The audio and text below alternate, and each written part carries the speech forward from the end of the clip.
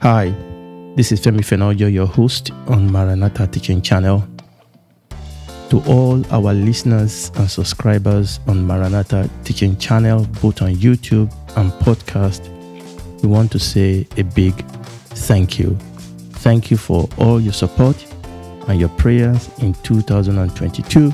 In 2022, we've had teachings, we had music, we've had podcast, we've had dialogue, and you've been with us in that journey. Thank you. Thank you so much for subscribing on the channel, and thank you for listening. We have done what we have done, and we are who we are only by the grace of God. And as this year 2022 draws to a close, and we look forward to 2023, we want you to come along on this journey, pray along with us.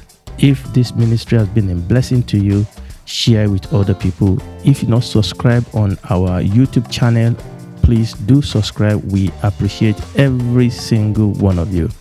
God bless you and happy 2023 in advance. Shalom.